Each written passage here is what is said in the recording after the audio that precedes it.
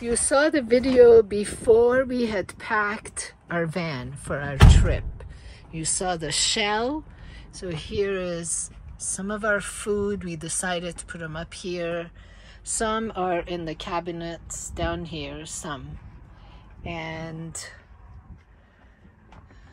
we were able to connect the paper towel holder, our bed, and here is where the action is. Mayhem.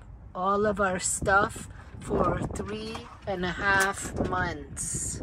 Love our little fruit basket. The only thing it has right now is avocados. It would be nice to have few other colors. If you ask where does she keep all the shoes, shoes are way up here. Some other stuff, more shoes, hiking poles, umbrella, and Ripley sits right.